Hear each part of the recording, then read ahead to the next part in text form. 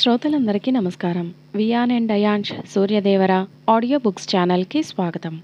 శ్రీ సూర్యదేవర రామ్మోహన్ రావు గారి నవల నా ప్రేయసిని పట్టిస్తే కోటి. ఇప్పుడు ఎవరైనా రెండు మూడు నాలుగు పెళ్ళిళ్ళు చేసుకోవచ్చా? చట్టం ఒకరిని మించి చేసుకోకూడదంటుంది కదా అన్నాడు బండశివ. ఎవరూ అభ్యంతరం చెప్పనంతవరకే చెప్తే వీలు కాదు అన్నాడు మునిస్వామి. గత ఎపిసోడ్లో ఇక్కడి వరకు విన్నాం కదండి ఇక ప్రస్తుతం విందాం. మరి శ్రీహరి అవతారాల లక్ష్యం ధర్మ సంస్థాపనే కదన్నా. అలాంటప్పుడు ఈ అవతారాలకు భిన్న స్వభావాలెందుకు? ఓరి నాయనో నీ ప్రశ్న వింటుంటే నాకు తాగింది దిగిపోయేలా ఉందిరా బండవెదవా అని దేశకాల పరిస్థితుల్ని బట్టి న్యాయధర్మాలు ఆచార వ్యవహారాలు మారిపోతుంటాయని పెద్దల మాట. వినలేదా? ఇప్పుడు రామాయణాన్నే తీసుకుందాం. శ్రీరామచంద్రుడు చేసిన ధర్మ సంస్థాపన ఏమిటి? నిశితంగా పరిశీలిస్తే నీకేం కనిపించదు. ఆయన చేసిందంతా రాక్షస సంహారం. ధర్మ సంస్థాపన చేసింది రామావతారానికి కాస్త ముందుగా వచ్చిన పరశురామావతారం. దుష్టులైన క్షత్రియ రాజుల మీద అనేకసార్లు భూమండలమంతా చుట్టి యుద్ధం చేసి సంహరించి ధర్మ సంస్థాపన చేసి రామచంద్రుడికి ఆ శ్రమ లేకుండా చేశాడు. కాబట్టి అక్కడ ధర్మ సంస్థాపన పరశురాముని ద్వారా జరగ్గా లోకకంటకులైన రావణ కుంభకర్ణాది రాక్షసుల్ని సంహరించి లోక కళ్యాణం జరిపించాడు రాముడు. అందుకే పరశురామావతారం లక్ష్యం ముందే నెరవేరింది కాబట్టి ఒకానొక సందర్భంలో శ్రీరాముడు పరశురాముని తాకగానే ఆయనలోని నారాయణాంశ రామునిలో ప్రవేశించింది. ఆ తర్వాత పరశురాముడు తపస్సుకెళ్ళిపోయాడు. కాబట్టి రామాయణ భారతాల విషయంలో నేను చెప్పొచ్చేదేమంటే రామాయణం కుటుంబగాథ మహాభారతం రాజకీయ చరిత్ర. నీ బుర్రకి సులువుగా అర్థం కావాలంటే ఓ మాట చెప్తాను విను. భక్తులు రాముణ్ణి కృష్ణుణ్ణి కూడా కలిపి రామరామ కృష్ణ కృష్ణ రామకృష్ణ హరే హరే అని ప్రార్థిస్తారు. ఎందుకో తెలుసా? నువ్వే చెప్పన్నా నాకేం తెలుసు? ఆ రామచంద్రుడు కుటుంబంలో సుఖశాంతుల్ని ఇస్తాడు.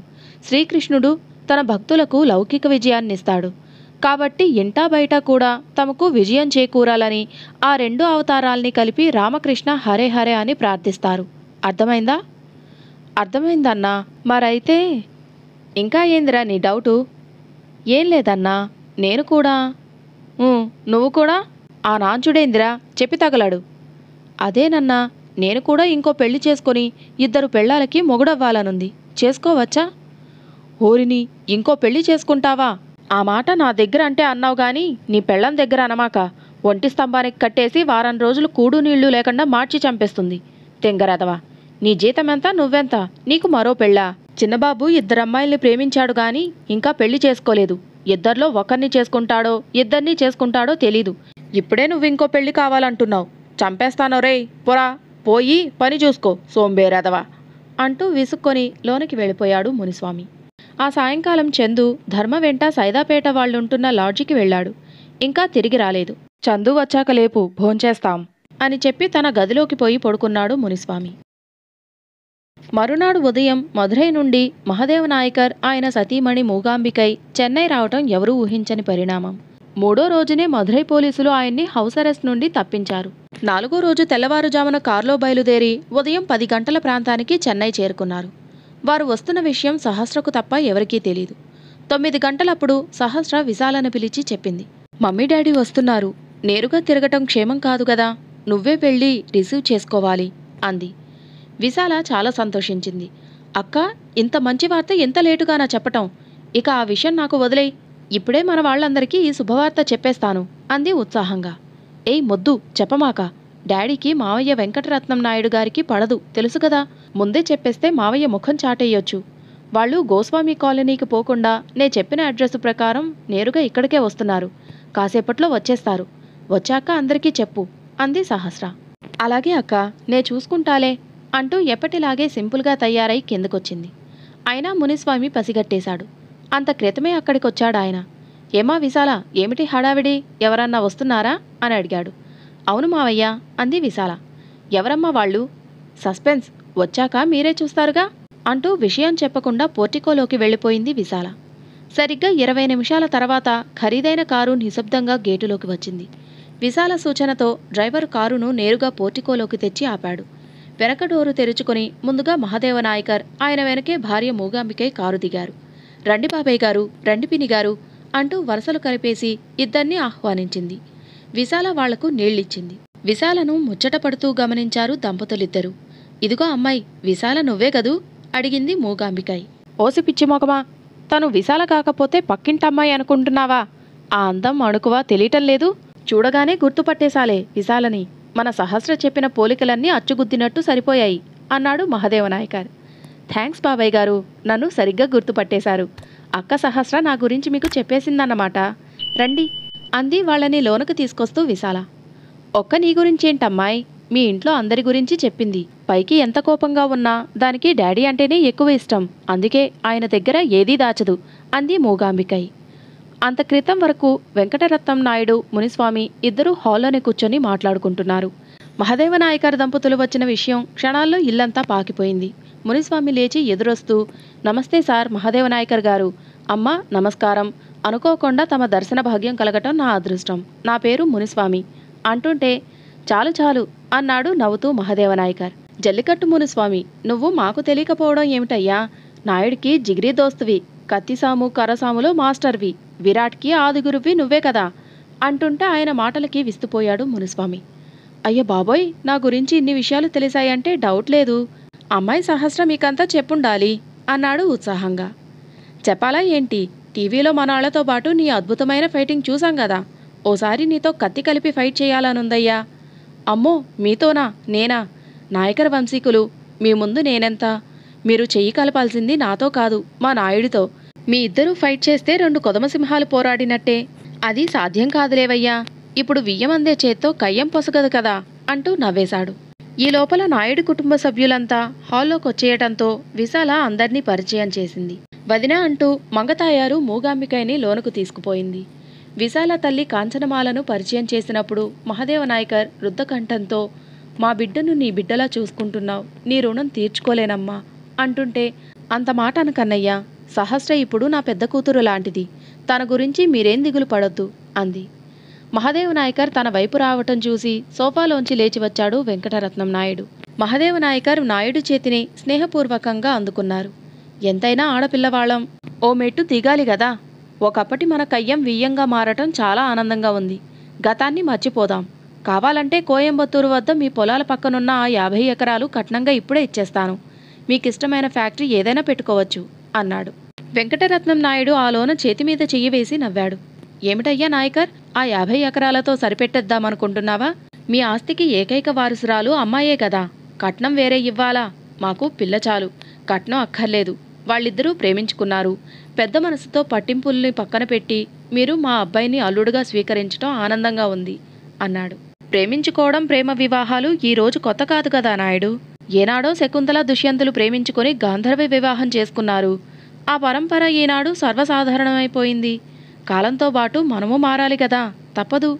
ఇంతకీ విరాట్ సహస్రాలు ఎక్కడా? వాళ్ళు మేడ మీద ఉన్నారు. కాసేపు రిలాక్స్గా కూర్చోండి కాఫీ తీసుకున్నాక వెళ్దాం. మహదేవ్ నాయకర్ దంపతులకు అతిథి మర్యాదల అనంతరం స్వయంగా వెంకటరత్నం నాయుడు వారిని సహస్ర గదికి తీసుకెళ్ళారు. వెంట మునుస్వామి పెద్ద కొడుకు విక్రాంత్ కూడా వచ్చారు.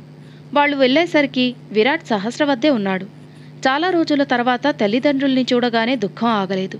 చెంగున లేచి ఎదురెళ్ళి ఇద్దరినీ కౌగిలించుకొని ఏడ్చేసింది సహస్ర. ఈ పోరాటంలో ప్రాణాలతో ఉంటానో లేదో తెలీదు.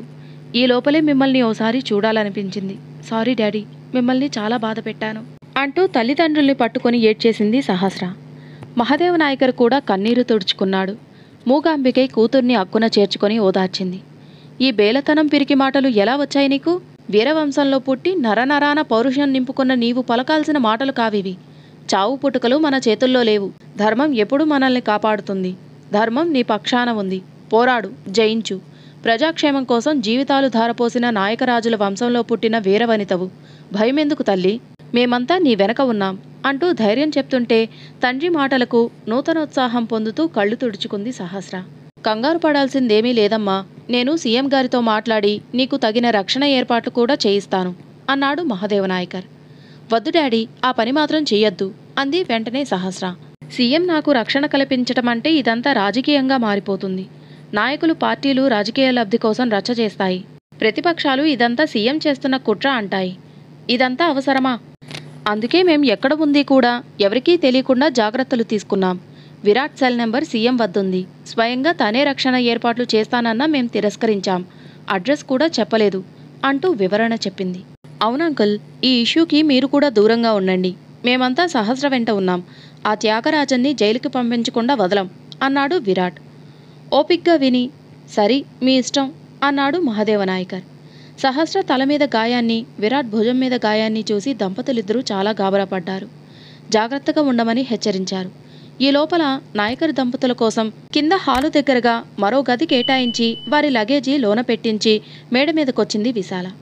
ఆ విధంగా రెండు కుటుంబాలు కలిసిపోవడంతో కబుర్లతో సమయం తెలియలేదు. తల్లిదండ్రుల రాకతో సహస్రకు నూతనోత్సాహం ఏర్పడింది. ఎప్పుడూ ఒంటరితనంతో ఉండే ఇల్లు ఒక్కసారిగా బంధువుల రాకతో కళకళలాడుతోంది. కాంచనమాల ఆనందానికి హద్దే లేదు. ఇక విక్రాంత్ పిల్లలిద్దరూ ఆమెకు మంచి కాలక్షేపం. ఆ సాయంత్రం గోస్వామి కాలనీకి వచ్చేసి విరాట్ ఇంట్లో సిట్టింగ్ వేశారు వెంకటరత్నం నాయుడు మహదేవ నాయకర్ మునిస్వామి. ముగ్గురు స్కాచ్ విస్కీ ఓపెన్ చేసి పుచ్చుకుంటుండగా ముందుగా మునిస్వామి అసలు విషయాన్ని ప్రస్తావించాడు. నాయకర్ సార్ మా విశాల మీద మీ అభిప్రాయం ఏమిటి? అంటూ.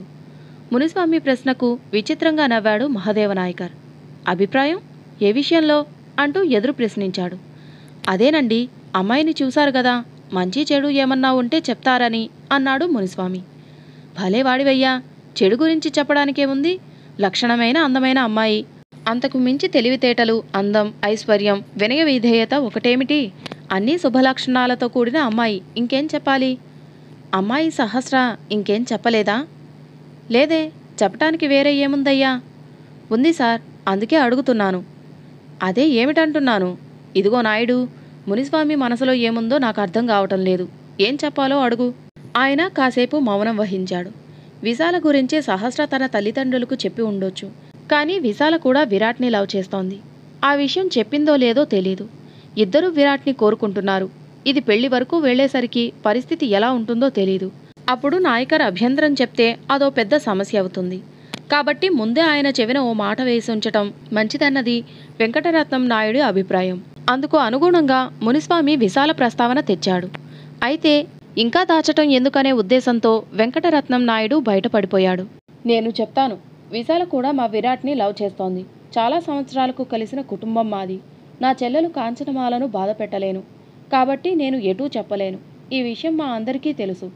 సహస్ర నీకు ఈ విషయం చెప్పిందో లేదో మాకు తెలియదు అందుకే వెంకటరత్నం నాయుడు మాటలు పూర్తి కాకముందే పక్కున నవ్వాడు మహదేవ నాయకర్ ఈ మాత్రానికే నువ్వెందుకు టెన్షన్ పడతావు నాయుడు? నాకంతా తెలుసు. చేసుకునేది వాళ్ళు కదా మనమెందుకు టెన్షన్ పడ్డాం? కష్టపడి పెళ్ళాం పిల్లల్ని పోషించాలా? ఇద్దరు భార్యలైతే భరించలేడనే బాధ ఉందా? లేదు కదా. ముగ్గురు కోట్లాది ఆస్తులకు వారసులు. ముగ్గురు ఒక ప్రాణంగా ఉన్నప్పుడు మనమెందుకు కాదనాలి? మీకో విషయం తెలుసా? మా రాజవంశంలో ఒకరికన్నా ఎక్కువ మంది భార్యల్ని కలిగి ఉండటం పూర్వాచారం. ఆ ఆచారాన్ని మా నాన్నగారు తప్పించారు. ఆయన ఏకపత్ని వ్రతుడు. ఆయన కొడుగ్గా నేను ఏకపత్ని వ్రతుడినే. కానీ మధురైలో మా వంశీకుల్లో చాలామందికి ఇద్దరేసి భార్యలున్నారు. టేకిటీసీ నాయుడు ఆ టైం రాగానే ఇద్దరినీ ఇచ్చి పెళ్ళి చేసేద్దాం. మీ చెల్లెలు కాంచనమాలని బాధ పెట్టడం నాకు మాత్రం ఇష్టమా? నా కూతుర్ని కూడా తన కూతురిలా భావిస్తున్న మంచి మనసు తనది. అలాంటప్పుడు విశాల కూడా మా బిడ్డ కాదా? విశాలతో కలిపి మాకు ఇద్దరు కూతుళ్ళు. కాళ్ళు కడిగి నీ కొడుక్కి నేను ఇద్దరినీ కన్యాదానం చేస్తాను. చాలా? అన్నాడు. ఆ మాటలకు వెంకటరత్నం నాయుడు మునిస్వామి ఇద్దరూ సంతోషించారు. గుండెల నుంచి పెద్ద భారం తొలగిపోయినట్టయింది. చాలు నాయకర్ ఆ మాటన్నారు చాలు. ఇక మాకేం చింత లేదు అన్నాడు వెంకటరత్నం నాయుడు. రాత్రి తొమ్మిది గంటల వరకు మందు కొట్టి తర్వాత వెంకటరత్నం నాయుడు మహాదేవ నాయకర్లిద్దరూ కారులో ఓల్డ్ మామూలం వెళ్ళిపోయారు. తర్వాత మునిస్వామితో పాటు చందు పండశివ మిగిలిన వాళ్ళు అంతా భోంచేసి పడుకున్నారు. వెంకటరత్నం నాయుడు కుటుంబంతో పాటు మహాదేవ నాయకర్ దంపతులు ఐదు రోజులు ఇక్కడే ఉన్నారు. అంతా చాలా సంతోషంగా గడిపారు. రోజు ఏదో పూట వచ్చి సహస్ర విరాట్లను చెకప్ చేసి వెళ్తుండటంతో డాక్టర్ గుణదీపిక అందరికీ బాగా పరిచయమై వస్తే కాసేపు అందరినీ పరామర్శించి కానీ వెళ్ళటం లేదు. మంచి మందులు వాడటం వలన విరాట్ సహస్రలు చాలా త్వరగా కోలుకుంటున్నారు. ఆ రోజు ఉదయం ముందుగా మహదేవ నాయకర్ మూగాంబికలు మదురైకు తమ కారులో బయలుదేరి వెళ్ళిపోగా మధ్యాహ్నం భోజనానంతరం వెంకటరత్నం నాయుడి కుటుంబం కోయంబత్తూరుకు బయలుదేరింది. చెల్లెలు కాంచనమాలను తమతో తీసుకెళ్ళాలని చూశాడు వెంకటరత్నం నాయుడు.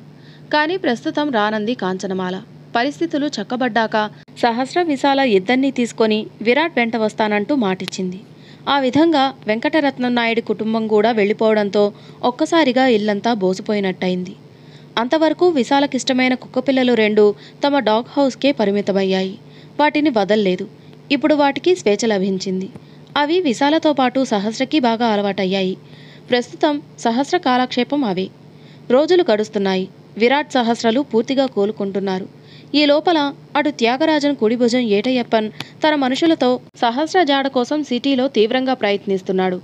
హర్యానా నుండి ఆరుగురు షూటర్స్ని పిలిపించాడు త్యాగరాజన్. జాలిదయ్య అనే పదాలకు అర్థం తెలియని మూర్ఖులు వాళ్ళు. డబ్బిస్తే ఎవరినైనా కాల్చి చంపేస్తారు. సహస్ర జాడ తెలిస్తే గాని వాళ్ళను ఉపయోగించుకోవటం వీలు కాదు కాబట్టి వాళ్ళంతా ప్రస్తుతానికి క్యాంప్కే పరిమితమయ్యారు. ఇప్పటివరకు మీరు విన్నది శ్రీ సూర్యదేవర రామ్మోహన్ రావు గారి నవల నా ప్రేయసిని పట్టిస్తే కోటి. తిరిగి మరొక ఎపిసోడ్తో మీ ముందుంటాను. అంతవరకు సెలవు నమస్తే.